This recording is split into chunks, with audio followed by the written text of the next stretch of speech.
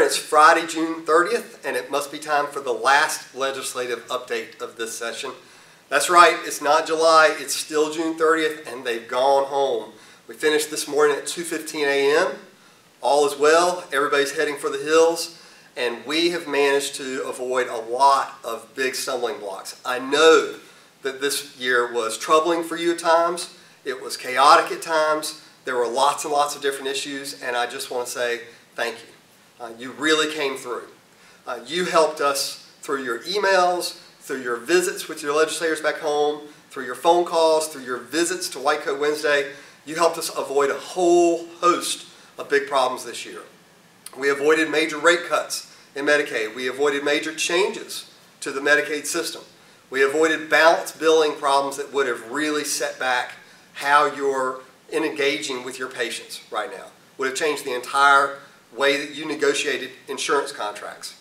We have avoided major scope of practice changes that would have disrupted not only how you practice, but would have jeopardized, in some cases, the care that you promise to your patients um, right now, to their, their safety. Uh, but all, in addition to that, we've also taken head on one of the biggest problems in the nation, opioid overprescribing.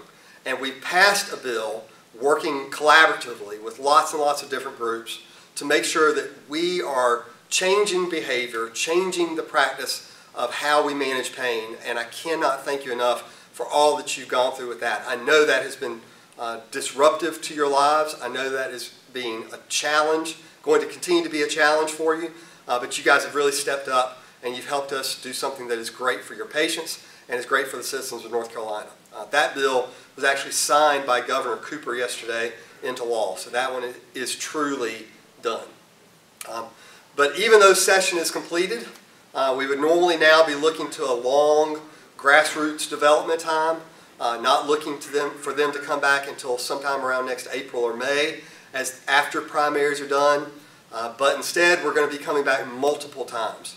Uh, August 3rd, we're going to be back. September 6th, we're going to be back. Sometime before November 15th, we're going to be back. And then be back May the 16th of next year for the short session.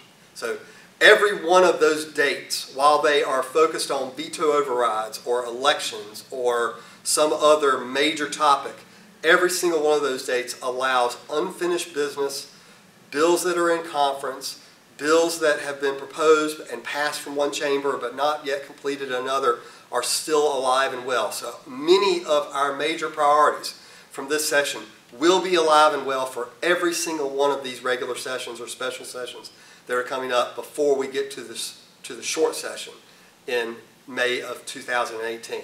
So we're going to have to be continually vigilant over the next few months. We're going to be working closely with you to figure out how to engage our grassroots in shorter segments to be prepared for these times that we're coming back here in Raleigh. Um, but for now, we get to take a little break and enjoy a holiday.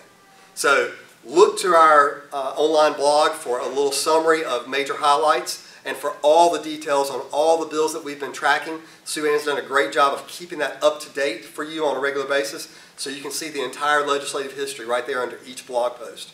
So uh, look there to keep up on the, the, top priorities that you're concerned about. We'll be uh, highlighting for you over the next few weeks what you can do to make sure that those priorities that you're most concerned about are um, ready or you, you have the tools to inform your legislators so they're ready really when we come back for these short sessions coming up. And again, just thank you. Thank you to all of you individually. Thank you to your specialties that have been engaged with us on a weekly basis in the lobbying effort here in Raleigh.